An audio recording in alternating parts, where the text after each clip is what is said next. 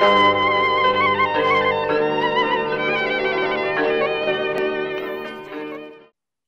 everyone. My name is Chelsea Gardner, and I'm an archaeologist specializing in ancient Greece and an associate professor of ancient history at Acadia University in Wolfville, Nova Scotia, Canada.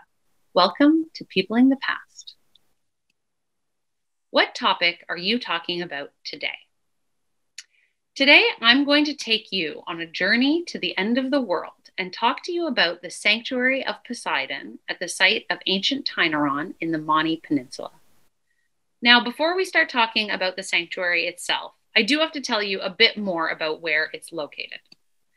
The Mani Peninsula is the middle of three projections off of the southern Peloponnese in Laconia, Greece, and the site of Tainaron is at the very southern tip of this peninsula.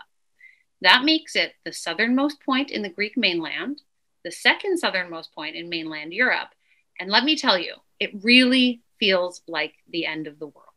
When you stand here at the edge of the Mediterranean Sea and look out, the water unfolds for 400 kilometers until the shores of northern Libya. It must have felt this way to the ancient Greeks and Romans as well, since Tainaron is maybe most famous for being the mythological entrance to the underworld. It is this very spot where Heracles himself descended to retrieve the famous three headed dog Cerberus. Because Tainaron felt like the end of the world, it was also often used to delineate and describe the physical geographic limits of the ancient world. So ancient geographers and writers would talk about it as if it was the end of the earth. And, you know, of course, a place that was the entrance to Hades certainly served as a liminal place, a threshold between the land of the living and the land of the dead. But there's more to Tainaron than this alluring, mysterious role. And getting away from the mythology can actually tell us more about the real people who visited this place in antiquity. For example, Tainaron served as the location for enormous gatherings of mercenaries looking to be hired out in the tumultuous decades after the death of Alexander the Great. There are also several marble quarries for black and red marbles that are located on and near this promontory. And these marbles were exported throughout the Mediterranean.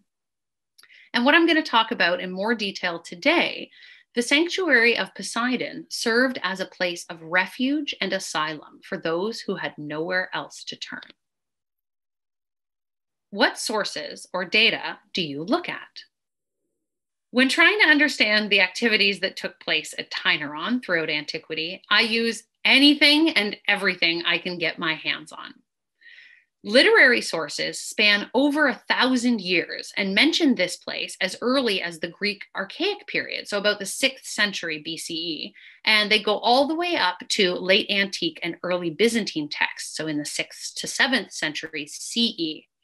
These written sources include all kinds of genres from comedy, tragedy, history, geography, travel writing, and epic poetry. And they give us clues not only about activities that were actually taking place at Tainaron and features that could be found at the sanctuary in antiquity, but they also tell us about how and what people thought about this place, you know, its reputation across the Mediterranean, even if people had never been there. So, this is where we get a lot of our doom and gloom, our forbidding and haunting imagery about a place that must be eerie if it's the end of the world. But sometimes the ancient writers get it wrong. As you can see, this is actually a pretty dry, sunny place. One Roman author, Hyginus, even calls Tainaron an island. So we always have to take our written sources with a pretty large grain of salt and ask ourselves not only who is writing that text, but who are they writing for and why. Other sources I look at carefully are the archaeological remains, like building foundations and pottery. While the site has never been extensively surveyed or excavated, small concentrated areas that were the focus of what we call rescue excavations can reveal pockets of activity that took place here, such as this mosaic floor that you're seeing. This is from a Hellenistic villa. We can imagine who lived here at the end of the world and why? Maybe a wealthy merchant who owned the nearby marble quarries? Maybe high ranking officials involved with the daily activities of the sanctuary of Poseidon?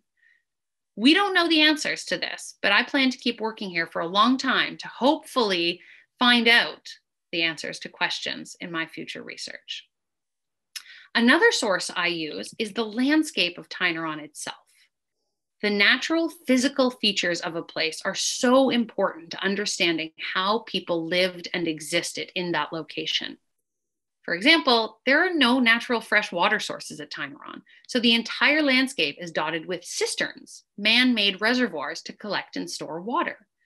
The soil is also really shallow and rocky, so there aren't opportunities for large trees to take root or for agricultural exploita- exploitation.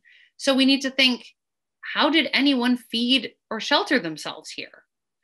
I'm also really interested in how people move throughout spaces and places, especially on long journeys.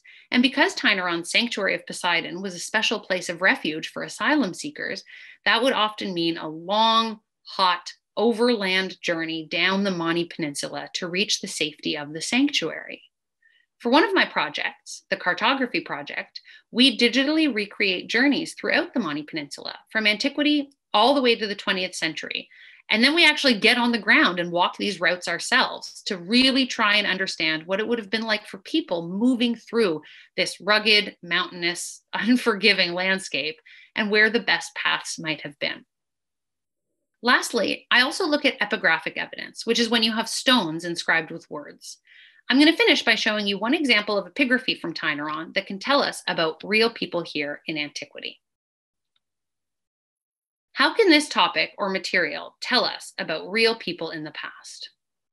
So I've already snuck in some real people content for you from the mercenaries to the marble merchants to the people who just walked around this landscape. But I want to finish by telling you about some specific people who might have found themselves here at Tainaron thousands of years ago. At Tainaron, six inscriptions survive that contain information about manumitted individuals. So that's someone who has been enslaved and is being granted their freedom. All of these inscriptions are on stelae, which are upright stone slabs, and they actually would have been displayed in the sanctuary itself. Here, the archaeology and the epigraphy align really nicely because, as you can see, the cuttings in the stone where these would have been installed in antiquity are still visible today. These manumissions are official documents that free douloi, or privately enslaved persons, rather than helots, who were officially enslaved by, and subsequently, if they were lucky, liberated by the Spartan state. All of these manumission documents follow a variation of the same formula. So you get an owner's name, dedicated a formerly enslaved person's name to Poseidon and then you get an official's name and a witness's name. So this one, IGBI 1231, that's the official documentation number, the Inscriptiones Graecae inscription number, says Eiskrion the Epirote dedicated Heraclidas and his effects to Poseidon. Ephor, Hegehistratos, witnesses, Priaios, and Epicedes. And this one dates anywhere from the middle of the fifth century BCE to the middle of the fourth century BCE. Two things are really interesting about this inscription. First, the inclusion of what we call an ethnic identifier. That's the word epirote. And this suggests that this person was from Epirus in northern Greece. This gives us an idea of the sanctuary's importance beyond the immediate region of Laconia. People were intentionally traveling here from all over. It's also pretty cool because one of the witnesses, Priaios, likely a priest of Poseidon, is also named on a funerary stele found here. And he's named with his father, Aristoteles, and his brother, Darmenidas. And both his father and brother are in turn named as witnesses on other manumission stelae. So without these inscribed stones, we'd never know about these regular people. They aren't in the surviving literary sources, so the stones speak for them. And we're lucky to get a tiny bit of insight into what seems like a generational family tradition of serving as priests of Poseidon and as witnesses to the freeing of enslaved persons.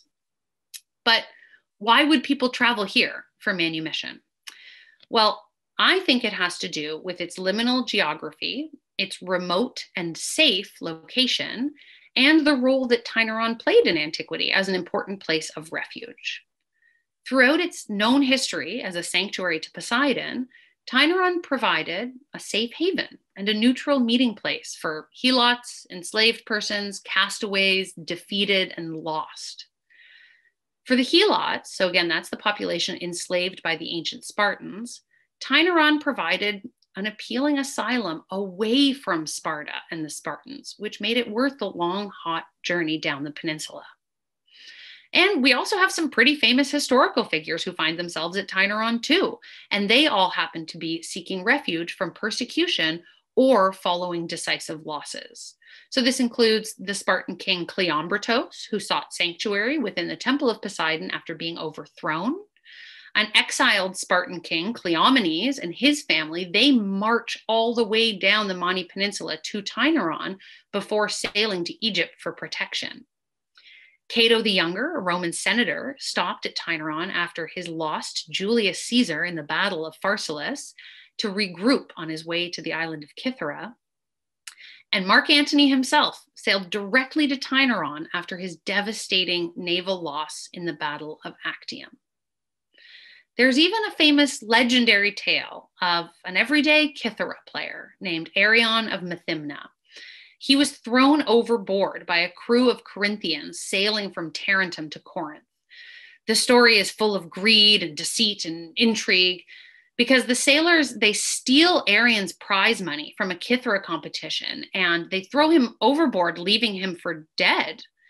But according to the tale, Arion was rescued by a dolphin who brought him back to Greece so that he could go to Corinth and eventually confront the sailors. But where does the dolphin bring Arion? To Tainaron, nowhere near the coast of Corinth. No. The dolphin takes Arion to a place 200 kilometers from his destination. And while, of course, this story is fictional, the inclusion of Tainaron is important to the ancient audiences hearing this story, just the mention of Tainaron itself for the listener automatically indicates that Arion is safe. So, where do you go when you have nowhere to turn? When you're a helot enslaved by the Spartan state, whose very existence is considered expendable, where could you be safe? Or Marcus Antonius, seeking overnight refuge after a devastating defeat at Actium, where does he go? Or a simple mythical fictional musician, Arion of Methymna, rescued from certain death by a dolphin. Where does the legendary setting of this rescue conclude? Well, from the enslaved to the most famous. The answer is, of course, the end of the world. To be safe, you go to Tainaron. For more resources, videos, podcasts, and blogs, visit our website at peoplingthepast.com. Please follow us on Twitter, Facebook, and Instagram at Peopling the Past. Thank you, as always, for watching.